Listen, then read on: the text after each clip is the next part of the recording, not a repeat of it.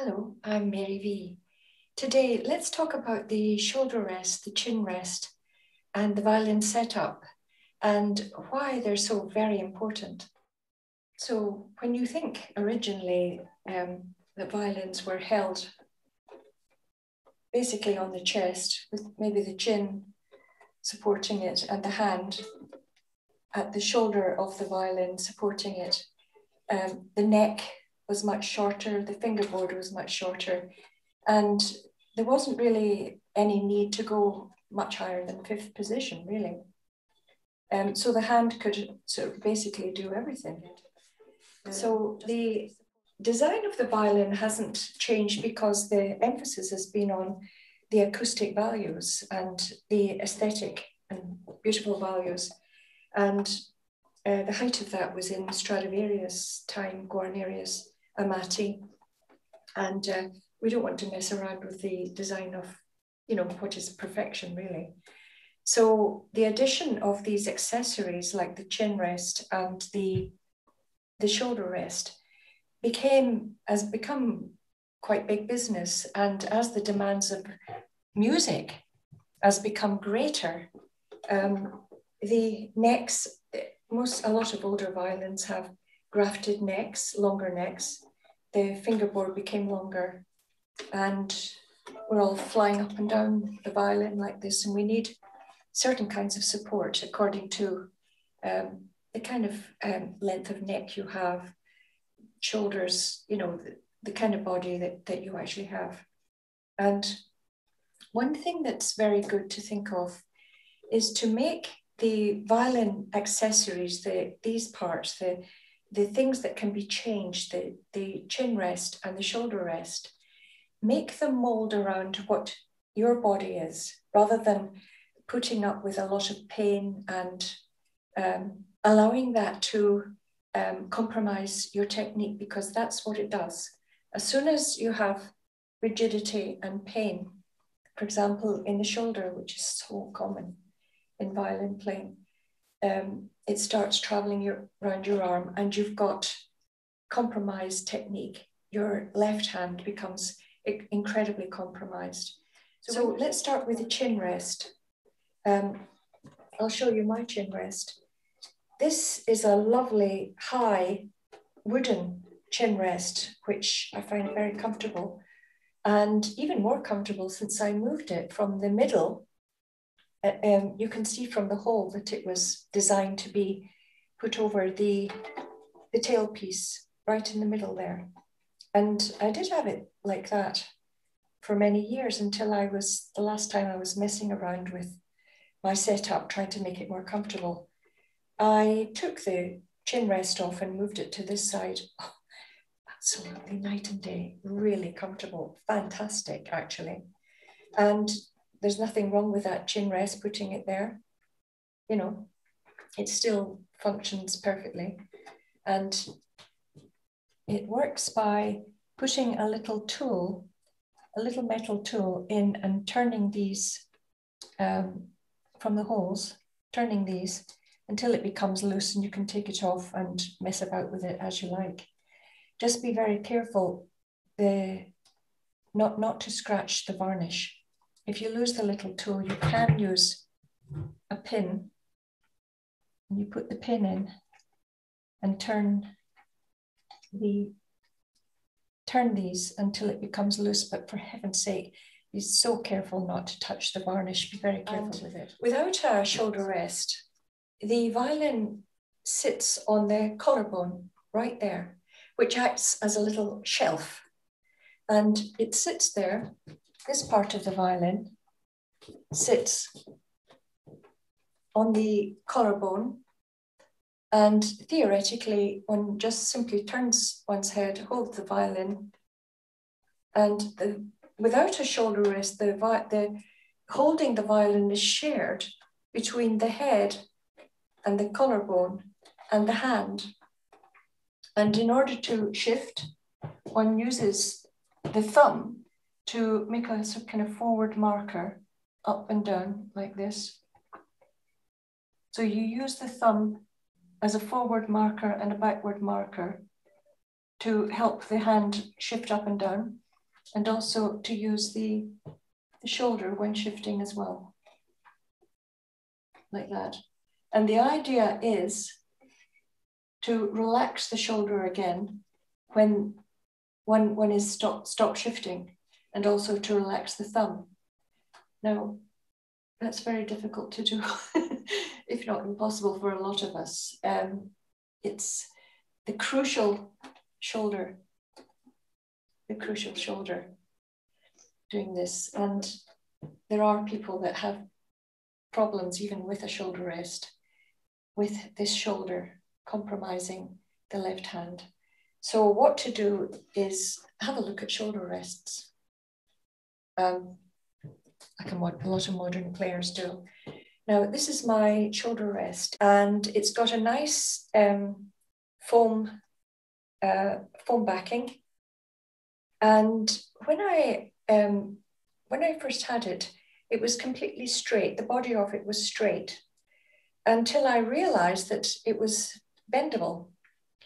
So that meant that I could bend it into a shape that left no gaps and slightly curved around the shoulder, but not too far back. I'll talk about that later. And what I was able to do was allow it to fit exactly the contours of around my shoulder and to my chest, uh, leaving no gaps.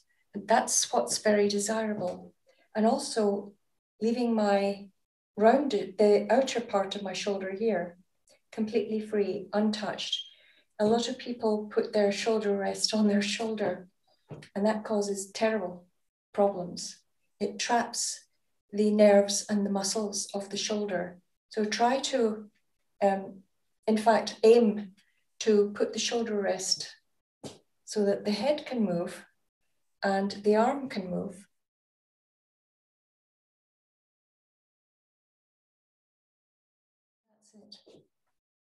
Now, what I normally do is think about a line going from the mark that I have where I place my chin on the chin rest down to the point where the shoulder rest is on my chest. A straight line there from where, where is it? It's there. It's sitting there. And I think of a straight line going up to that mark and down to that mark. And that is actually where the violin is resting. It's on the chest. It's misnamed as a shoulder rest. It isn't a shoulder rest, it's a chest rest. And that would be better to think of it like that. Because let's just go back to the angle that the violin is on when it's sitting on the collarbone without a shoulder rest. And you can see that's the angle of my collarbone, right? And a lot of violinists, and myself included, would prefer that the, the violin is angled a little bit higher. And that's what this part of the shoulder rest does. It gives, it gives the angle and the height that you wish. It doesn't hold the violin, it, it only acts as the height that you wish to angle the violin at, this way or that way. Now you, you might want to have um, a much lower angle. That's what, um, that's what you will be looking at is you might be able to get a very comfortable fit here, but it's too high at the back. Fine, lower it. And um, you might find that it's too high here, it will lower it again. Get, get yourself a chin rest, a shoulder rest that is fully adjustable. And I think the one of the major parts of the shoulder rest that should be adjustable is the body of it. Uh, I mean, if you have one that you can't bend to your own shape, don't bother with it because it'll never really fit you, will it? Yeah, the second bit is the adjustability of the, the legs. They just turn around and go up and down. And when I made my big curve in my shoulder rest, the this leg was sticking out because of the new angle. So I simply pushed it back in and made it be able to fit the violin very snugly without the shoulder rest falling off all the time. So it takes a lot of messing about with pads, if you prefer, shoulder rests, um, chin rests, and, and also understanding that um, most violinists have more than one head position when they play. Um, I've got two major ones, which is facing the violin and um, facing forward. What I'm really doing, I think, is using different ears for different times. Uh, I also put my head, when I'm holding the violin, I put my head down and it increases the feeling that the, the violin is being held on the chest, which I find very important, very important. Not to think of the violin being held um, here. Now, just coming to the shoulder, there are uh, shoulder rests which clamp or go all the way around the shoulder. And the violin hangs off the shoulder down. And I don't think they're a good idea because they clamp in the muscles, the very important large muscles at the back of the neck here, right here. And they're ones that um, are very much involved in the prolonged um, hand position that, that a violinist must um, get used to. But at the back of the shoulder here, just right there. And I don't think it's necessary to um, include those. It's better to keep them uh, big muscle groups as free as possible. And therefore, if you can get a shoulder rest that more or less starts at the top, curves around, and goes to the chest, obviously. And then think about the weight, the violin being really held on the chest. And the height and the angle of the violin is determined by the back here. That's a better way to think of it because the most crucial thing about um, modern day violin technique is just the sheer amount of shifting and height and um, freedom that we will need because of the repertoire. Um, and also orchestral rehearsals are very, very tough, very hard areas of, and if you've got very sore areas of muscle, that can very, very quickly lead to tendonitis, pain, and you have to take time off and all, all sorts of problems. And it's better to get it right and keep messing about until you're comfortable. Um, don't wait until um, you're in terrible pain. Don't wait. Try to incorporate, try to be aware of these things as I'm trying to tell you I'm trying to advise you um, what to look out for and um, what is going to give you the best chance of developing a lovely technique with no problems. Okay, um, so good luck with that, and we'll talk about it again. Bye for now.